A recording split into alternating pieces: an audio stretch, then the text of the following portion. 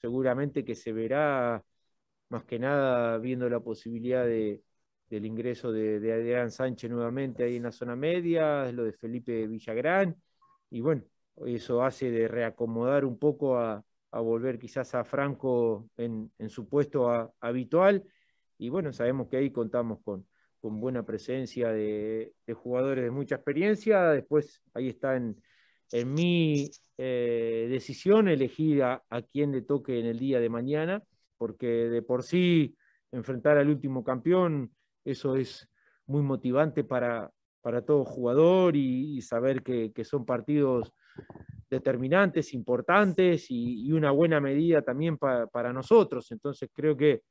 no se hace mucho hincapié en la, motivación, sino más en los recaudos y en, lo que podamos hacer nosotros,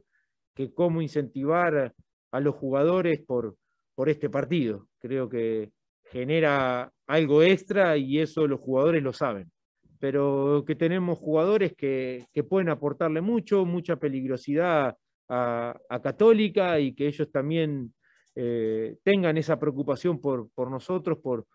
por lo que venimos haciendo o lo que venimos mostrando en estos últimos partidos, de que cada pelota es la última, de que sabemos que también tenemos gente de buen pie para, para jugar, de que ser un equipo que elabore la, la, las jugadas y que, bueno, lo que sí tenemos que ajustar es, es más la, la, finalización, la terminación de jugadas, pero creo que tenemos gente también ahí con mucha capacidad de, de resolver en esos últimos metros. Así que en la medida que podamos seguir fortaleciéndonos en, en todos esos aspectos creo que vamos a ser todavía mayormente competitivos.